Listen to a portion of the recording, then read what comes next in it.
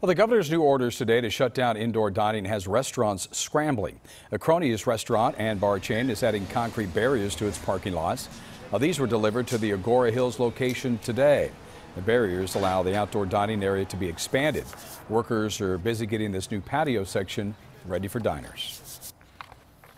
it definitely will keep us keep us alive and afloat. Um, um, but that you know that remains to be seen too. We got to do it. We got to at least offer it to people, offer them a safe uh, a safe way to come out and get a bite to eat and get out of the house and. Well, the owner says that we can expect to see expanded outdoor dining at the four other locations in Ventura County as well.